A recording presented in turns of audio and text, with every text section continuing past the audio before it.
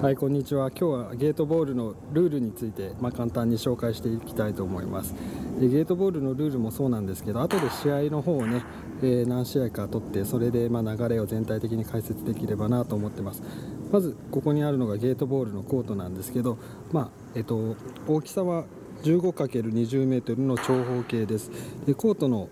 まあ、その表面というか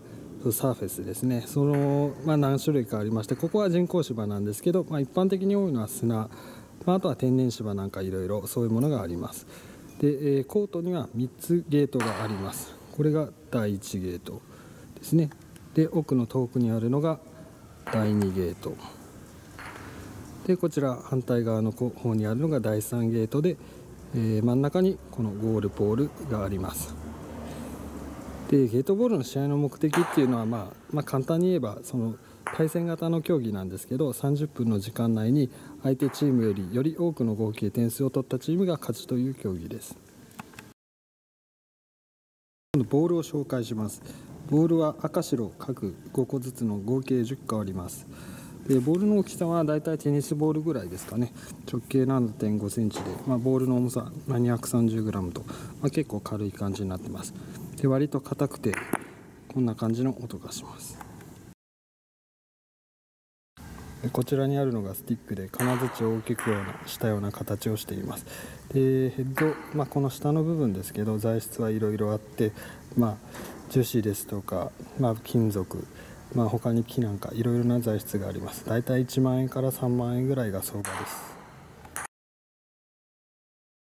じゃあちょっとここで若手の選手にちょっとご協力いただいてゲート通過の説明からしたいと思います、まあ、ゲートはまさっき言ったように第1ゲート第2ゲート第3ゲートの3つがあるんですけど、まあ、それぞれ順番が決まっていて、まあ、順番通りに通ると、まあ、その初めの1回につき得点が1点加算されます。で第2ゲートと第3ゲートは一緒なんですけど、まあ、第1ゲートはちょっとスタートエリアっていう特別なところから打つという決まりがありますのでちょっとやってもらいたいと思います。はい、で今スタートエリアの端のところに、えーと、球を置いてもらってこれでゲートを狙うという。でこれで今ゲート通ったと思うんですけど第1ゲート通過。でゲートを通過した時の得点としてゲートが止まったところからもう一度打つことができます。じゃちょっともう一度継続打撃をやってもらっていいですかね。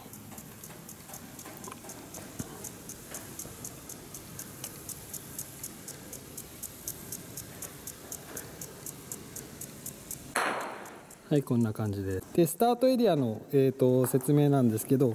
まあ、こうやって第1ゲート真正面に見たところから垂直に線を下ろしたところそこから左右に 1m ずつの、まあえー、ところに、まあ、ボールを置いていただければ大丈夫で、まあ、実際はこの手前まで広がりはあるんですけど大体この線に沿わせておく方がほとんどです。はい、じゃあこちらが第2ゲートですけど第2ゲートは、まあ、先ほどの1ゲートがある方から1ゲートがない方に向かって通過するのが正しい向きになります。じゃあちょっともう一回やってもらいましょうか。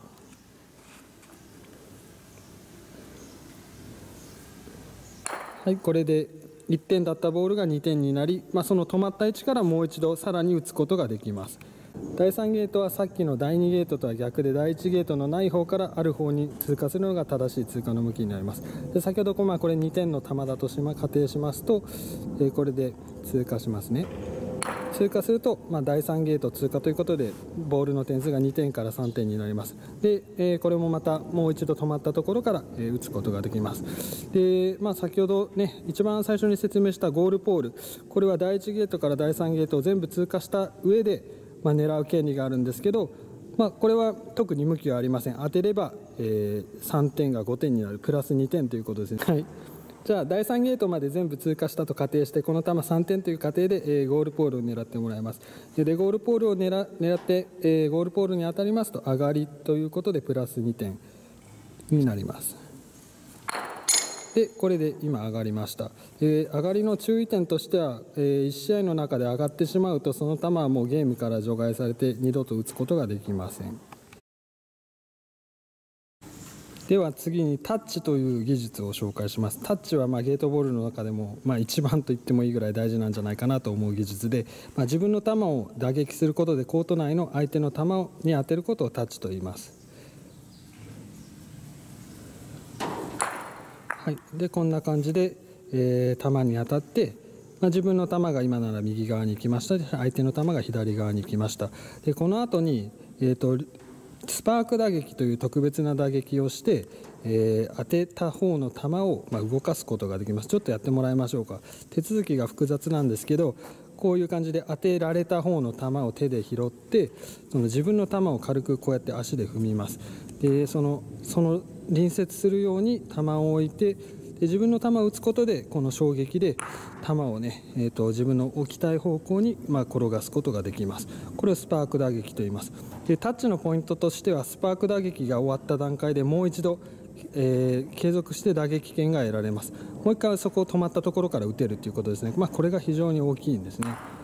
こんな感じで、まあ、3番の前に、えー、行きました。でタッチのボールの、えー、当てるボールについては制約はなくて例えばここに5番と6番がありますけどこうやって相手の球を、え当てることもできます。相手の球を当てて、まあ、先ほどと同じように当てた方の球を手で拾って自分の球を足で踏んででくっつけて、まあ、相手の球であれば例えばまコートの外にこうバンって出すようにで、まあ、これ後で説明しますけどコートの外に出ると、まあ、アウトボールといって、まあ、1回休みの状態になるので、まあ、自分たちにとって有利に試合を進めることができます。でこの場合も、えー、先ほどと同じように継続打撃が発生してもう一度止まった場所から打つことができます。はいそんな感じですね。はい、先ほどスパーク打撃のところで説明したように、まあ、当てた球をま自由に動かすことができるんですけど、まあ、その結果生じたプレーというのはま全て有効ということでちょっとま実例としてやってもらいたいと思います。じゃあ3番の球を打ってもらいます。ここにあるのは味方の球なんですけど例えばこうやって1番の球をタッチしたとします。1番がまだ第2ゲート通っていない球だった場合はもしあのもちろん次の、ね、順番まで待って自分で通ってもらってもいいんですけど、まあ、スパークで通してもその得点は有効になります。あじゃあちょっとやってもらっていいですかね。はい。で1番がこれ第2ゲート通過しました。えー、これは1番の、えー、ボールの得点に加算されます。そしてもう一度継続打撃を3番はすることができます。で例えば3番がゲートを通っていないとしたらこうやって3番第2ゲート通過ということでこれで得点した場合はまたここからもう一度打つことができます。では次に通過タッチについて説明したいと思います、まあ、さっき説明したように通過して得点をすると、まあ、継続打撃権が1回発生してタッチした後スパークすると、まあ、別にもう一度発生するんですけどそれがま同一のプレーで起きた場合には、まあ、通過タッチなりタッチ通過なりそういう言われ方しますけど、えー、継続して2回打つことができます。じゃあちょっと通過タッチの方やってもらいましょうかね。1番が、まゲートを通ってないとして、ま第2ゲートの裏に3番がいる場合を想定します。1番第2ゲート通過3番にタッチということでまずこの場合はスパーク打撃をね完了しないといけないんですけどこうやって3番を手で拾ってまあ適当なところにスパークしてもらいます。でこれでこの時まあ打撃にスパーク打撃が完了したことによるまあ1回とゲートを通ったことによる1回その2回続けて打つことができるんですね。で例えばじゃああそこに相手のボールがいるとしましょうか。6番ですね。あれを2回でじゃあちょっとタッチしてもらいましょう。1回だとねやっぱりなかなか距離的に難しいんですけど2回、まあ、こうやって打撃権があるということで、まあ、1度目で近くに行って、まあ、こうやってタッチすることができます。でこれでこの後またスパークをしてもらうと。でじゃあちょっと近くにアウトにしてもらってでこれで6番がアウトボールになります。でこの時にまたスパーク打撃を完了しているのでもう一度継続して打撃することができます。はい、今のが、えー、通過タッチ。はい、では今度はね、まあ、通貨タッチじゃなくてタッチ通貨、まあ、タッチが先に発生する場合をちょっと、えー、お見せします。で3番がこれ、まあ、2ゲートまだ通っていない球だと仮定します。でここで1番の右側に当てるようにするとまあ、1番をタッチしつつ、まあ、3番が第2ゲートを通ったということで、まあ、これもまたスパーク打撃をまずするんですけど、まあ、スパーク打撃に伴う継続打撃の1回と、まあ、ゲートを通ったことによる継続打撃の1回が複合して、まあ、このスパークが終わった後に2回打てます。じゃあ今度は3ゲートを通ってきてもらいましょうかこれで。じゃあお願いします。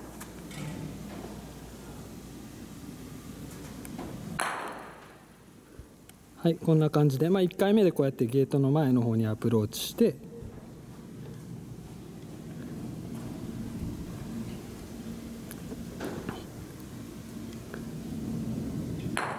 2度目で、まあ、これでゲートを通過しました。でさらにまたゲートを通過したことによる継続打撃権が発生するのでもう一度打つことができます、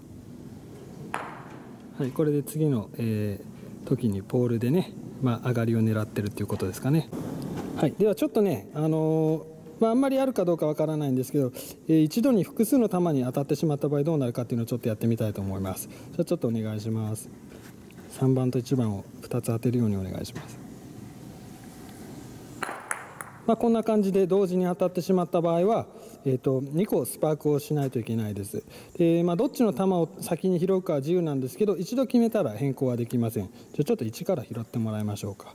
で1で、まあ、スパーク打撃して、まあ、アウトボールにでもしてもらいましょうかね。ありがとうございます。じゃあもう一発次のスパークをここで打っちゃダメなんですね。手で拾うっていうのが大事でスパーク打撃をはいしてもらいます。で、まあ、ここで注意したいのはスパーク打撃1回につき今まで継続打撃権が発生したと思うんですけど、まあ、通過とスパーク打撃の継続打撃っていうのは複合するんですけど同じ種類、まあ、これタッチ今2つね同時に行ったわけですけど、まあ、それの場合はもう1回しか打てません。なんで6番はあと1回だけ打つことができるので、まあ、どっか適当なところに行ってください、まあ、こんな感じですね。なんで通貨タッチやタッチ通貨との違いがあるというのを覚えてください。はい、では次にスライドタッチという、まあ、技術について説明します、まあ、タッチのところで説明したようにタッチした後、まあ自分の球が止まった位置でスパーク打撃を行った後にそこからもう一度打つことができます、まあ、それをまあよく考えるとその自分の球の止まる位置っていうのをコントロールするのがすごく大事ということになってきます。例えばここで今ね1番がまライン際にいますけれどもまあ、これ今、例えばこの第2ゲートを通りたいと思った時にそのままこの球をあの正面で当てた場合ちょっとゲートはなかなか通過するのは難しい角度になります。でここでちょっと頭を使って左側この相手の球の、ね、左側にえー、球を当てるとちょっと自分の球がこうやって、まあ、左側に行ってそのゲート通過を狙える角度に止まれる、まあ、この、ま、真ん中に当てるんじゃなくてちょっとその自分の球の位置をコントロールするように端の相手の球の端を打つというこの技術をまあスライドタッチと言います。じゃあちょっとやっていただけますかね。ゲートをまあ通過したいという、まあ、気持ちで打ってもらうと、まあ、こんな感じでゲートの前側に出て、まあ、まあ、普通あとはま普通にスパーク打撃をした後もう1回打てると、まあ、ちょっとそこまでやってもらえますかね、まあ、適当にポンと送ってもらって。で、ま、止まった位置から打てますのでここからですね。はい、はい、ありがとうございます。はい、でスライドタッチは、まあ、さっきみたいな、ね、短い距離ももちろんできるんですけどちょっと今回もっと長い距離をねやってもらいましょう。ここに先ほどと同じように1号があります。であそこの3ゲートの前の方に6番があります。この球はちょっと普通のねあのタッチをしたんではなかなか当てられる距離にありませんがこれうまいことこの球の左側に当てることで自分の球の位置を制御して、えー、まあ、出せるかどうかっていうのをちょっとトライしてもらいます。じゃあテイクワンですのでよろしくお願いします。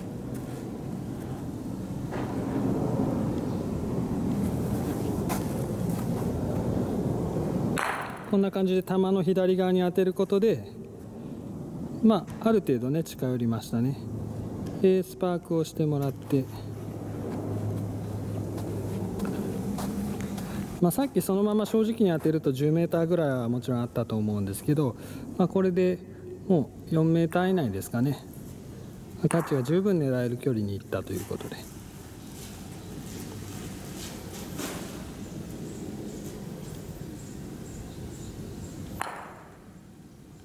はい当たりました。でこれでまあ通常通りスパークができます。はいありがとうございます。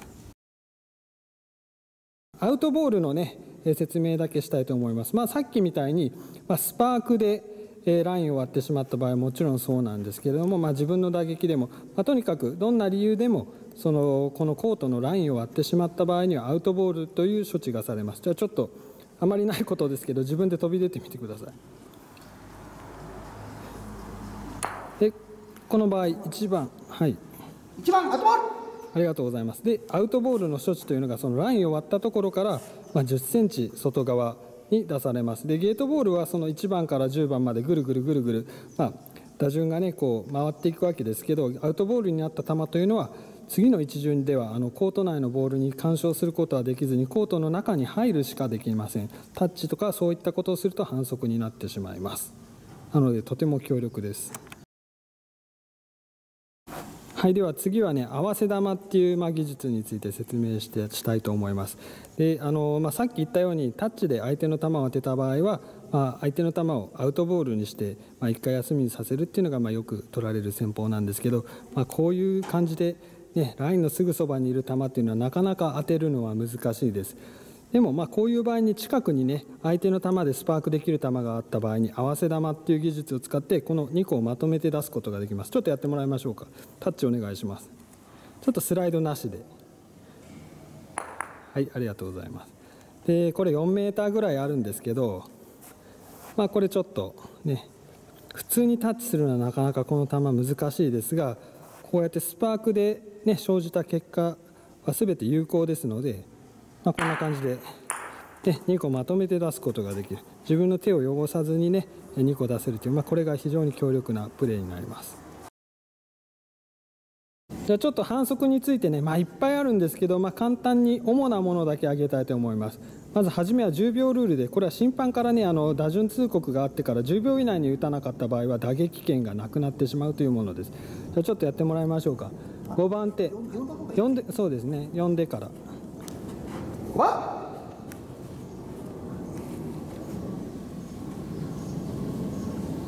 まあここら辺で打てば全然反則じゃないんですけど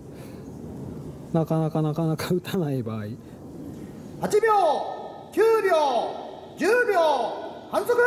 といった感じで、まあ、これで10秒経ってしまったので、えー反則。で特にアウトボールとかそういった処置はないんですけれどもそこでもうこのまま打撃権喪失となりますはいでは次はいわゆる2度タッチという、ね、反則について説明したいと思います。じゃあちょっとこの球ね、えーまず当ててみてください、まあ、どういうものかっていうのはまず実際に見てもらった方がいいと思いますので。はい1番にタッチ。1を番にタッチ。はい、でスパーク打撃をしてもらいます、まあ、近くにスパークしてもらいましょうか。でこの打順では1番はもう一度当てた球なんですね。で同じ球に同一打順でもう一度タッチしてしまうと2度タッチという反則になります。反則？はい反則です。でこの場合の処置をちょっとやっていただきましょうか審判の方に。2度タッチね。はい。でこのようにタッチされた球を元々のあった位置に戻しアウトだってはいではい、その位置から、まあ、垂直に下ろした、えーところですね、えーコートのラインに向かって水線を下ろして、まあ、そこから1 0センチ外側の位置にアウトボールの処置を行います、まあ、この意味するところっていうのはもしねあれタッチが何度でもできるとちょっと当ててスパークちょっと当ててスパークという形で、まあ、試合時間全部なくなってしまいますので、まあ、そういった意味で、まあ、この2度タッチの反則は、えーと定められています。はい、では、えーまあ、多い反則のうち、ま、3つ目、えーアウトボールからの打ち入れの時のタッチっていう反則をちょっとね、えーやってもらいたいと思います。今6番がアウトボールの状況で、まあ、6番の打順通告がありました。でこのコートの中の球に当てる権利はアウトボールはないんですけれども、まあ、もしこうやって当ててしまうと,、えーと反則になります。で先ほどと、まあ、ほとんど同様ですね。今の反則によって大きあの動いてしまった球を元の位置に戻してで反則が起きた地点から水線を下ろしてアウトボールの処置をもう一度行います。はいではちょっとねここからは少し頻度は下がるんですけどじゃあちょっと2度打ちをやってもらいたいと思います。これも反則です。反則！今ヘッドにね2回球が当たったの分かりますかね？こう今みたいなこう反則をしてしまうとアウトボールにはならないんですけどその元の位置に戻されてしまいますだからああいう場合は2回打たないようにちょっとヘッドの向きを考えて打たなきゃいけないってことですねはい、ではあと2種類ね反則をしてもらいます。まあ、反則をしてもらいますのもおかしいですけど、まあ、スパーク打撃にまつわるね反則がいくつかありますので、じゃあちょっとスパーク打撃の失敗をしてもらいましょうか。まあ、これで5番で1番を当てて、じ1番にタッチゃあまず足から離れないパターンをやっていただけますかね。まあ、普通に、まあ、近くにスパークしようとしてこうやって打った時にこれこのね打撃した球との間隔が10センチ以上離れなかった場合はスパーク打撃違反として反則になります。で処置をちょっとお願いします。でこのように、まあ、反則が発生した地点から水線の足を、まあ、水線を下ろしてそこからアウトボールの処置をします。じゃあもう一度今度は別のパターンをやってもらいましょうかね。1番にタッチ。